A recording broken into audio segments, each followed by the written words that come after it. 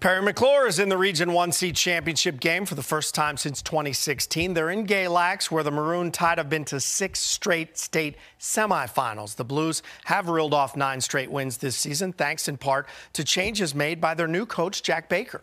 Uh, we've ran the straight T our whole life, so the change of the offense was, you know, was a great change. It's definitely helped the team out.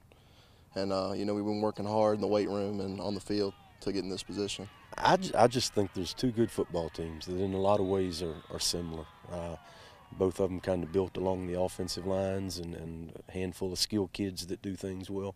So I think we're two similar football teams. I'm just expecting a. Uh, I just want to be playing in the fourth quarter against a real quality football team with a chance to win.